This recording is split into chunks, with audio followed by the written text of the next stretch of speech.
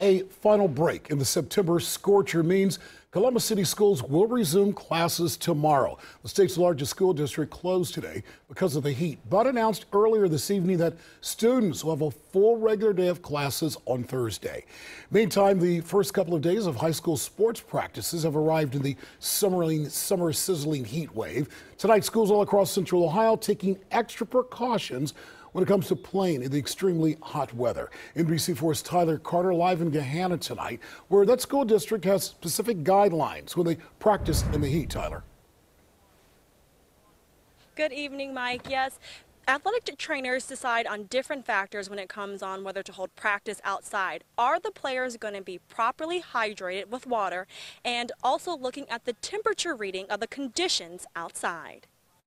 75 right now really does not affect practice at all. Um, yesterday it got up to 87. Mike Townsend, the head athletic trainer at Gahanna Lincoln High School, says his team uses the Korey Stringer Institute guidelines when it comes to measuring the heat conditions outside. And based on what our recording says for the wet bulb uh, globe temperature, we have specific accommodations that we'll do, um, which includes more water breaks, longer water breaks, um, and then some equipment removal. Taking in many risk factors like temperature, humidity, wind speed, and heat radiation. A reading under 82 degrees, players can practice at a normal activity level.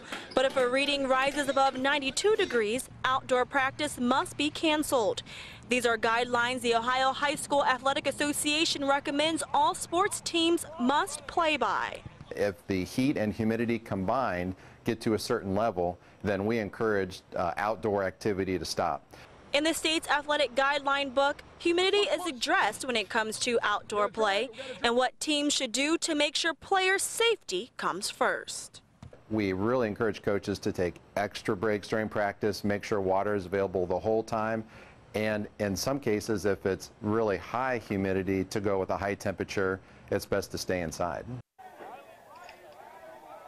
And practice just wrapped up here at Gahanna Lincoln High School. Yesterday's wet bulb reading was 87, so the players had to wear helmets, shoulder pads, and shorts.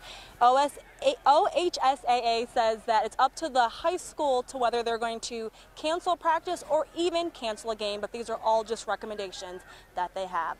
Live and local for you in Gahanna, Tyler Carter, NBC4.